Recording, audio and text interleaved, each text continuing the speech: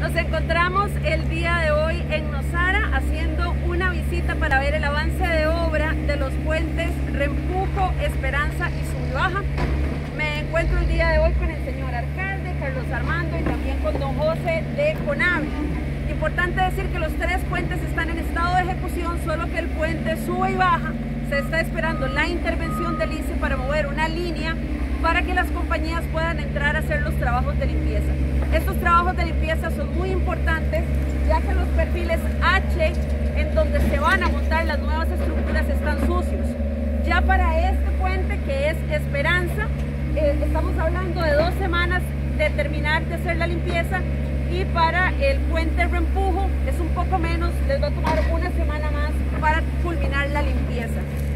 A partir de ahí, la compañía entrará en la ejecución propiamente de los puentes nuevos.